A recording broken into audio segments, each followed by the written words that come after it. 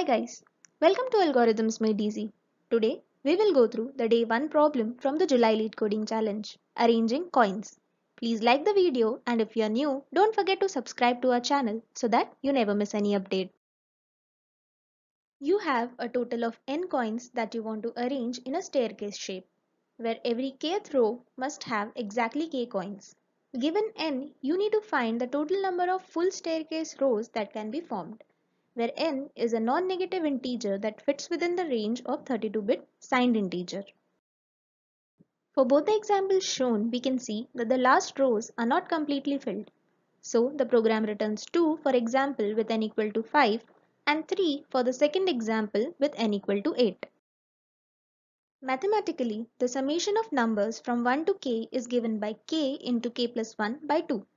So for our problem, we need the maximum k for which the sum is less than or equal to n given in the input. The naive solution would be to solve it for all the numbers from 1 to n. But as the numbers are in increasing order, we can optimize it by applying the binary search. For that, we will initialize left to 0, right to n, k and mid. We will loop till left is less than or equal to right and calculate mid and k using the formulas. If the calculated k is equal to n, we return mid. Else, if k is less than n, we set left to mid plus 1. Otherwise, we set right to mid minus 1.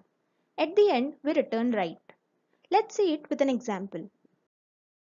Let's take n as 8. Initially, n will be 8, left will be 0 and right will be 8.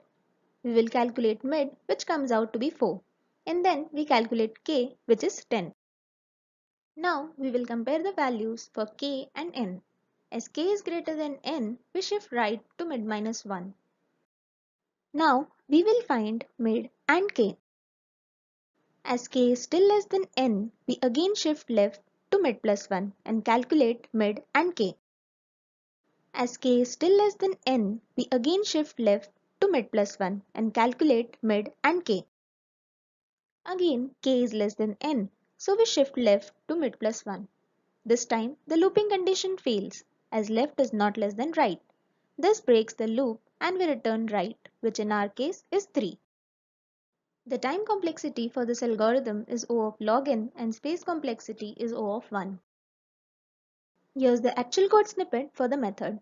You can also find the link to this Java code in the description below. Thanks for watching the video. If you like the video, please like, share and subscribe to the channel. Let me know in the comment what you think about the video.